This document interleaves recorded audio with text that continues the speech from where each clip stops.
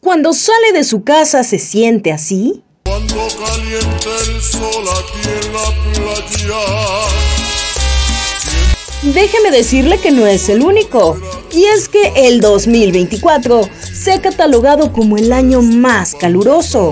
Esto atribuido al cambio climático y algunos fenómenos naturales.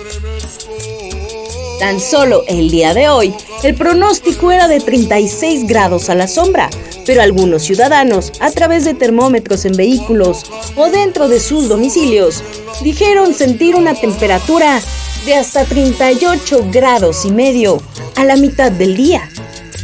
Es por esta razón que hoy le preguntamos a los elayenses cómo se cuidan ante la ola de calor. Ah, caray.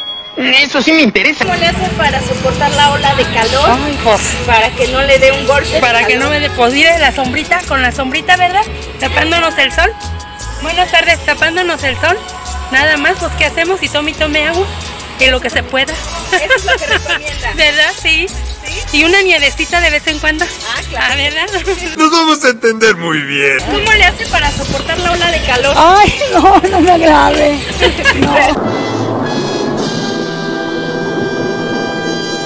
veo que trae paraguas. Sí. Ay, pues imagínese esta ola de calor. Sí, ¿Cómo le hace para que no le dé un golpe de calor? Pues tratar de hidratarse.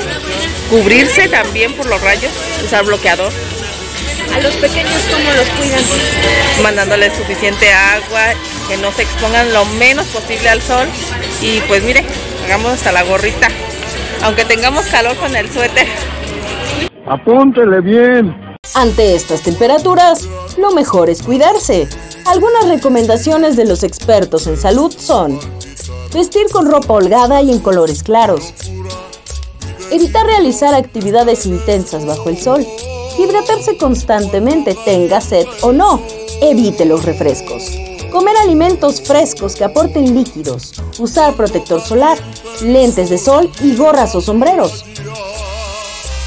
Procure no permanecer dentro de su auto con las ventanas o las puertas cerradas durante mucho tiempo.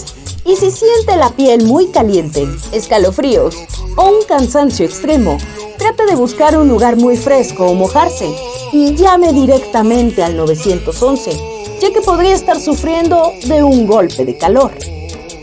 ¿Usted qué opina? ¿Qué otras recomendaciones conoce? Mi nombre es Ana Gaitán y está en Expresa tu Voz.